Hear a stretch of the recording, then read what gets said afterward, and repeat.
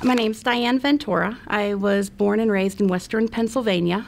I grew up in a small town, a family of six, and I love the country that I was born in.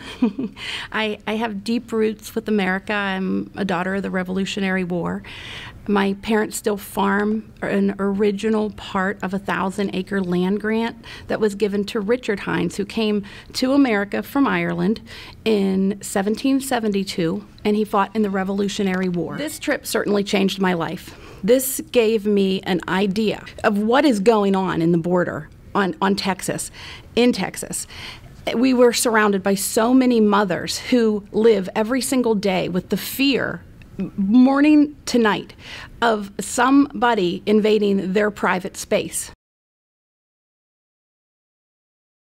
Elected officials who we vote for to support President Trump in his plan to provide a safe border wall, to enforce the law that immigrants that are coming here need to come here legally. They need to be properly vetted.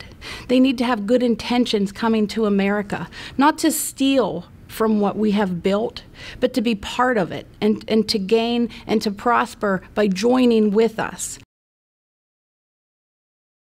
Before they walk through the door of, of America, they're showing us that they're not interested in living by our rules. We, we, we have an established rule here eh, that we live underneath our Constitution, and we are responsible for our actions.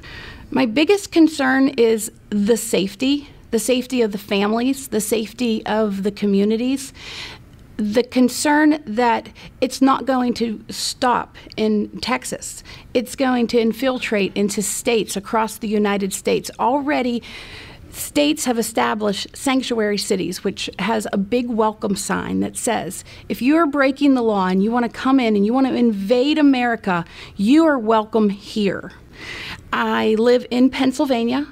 We have now two sanctuary cities. These illegal immigrants are not going to be going to states that do not have sanctuary cities.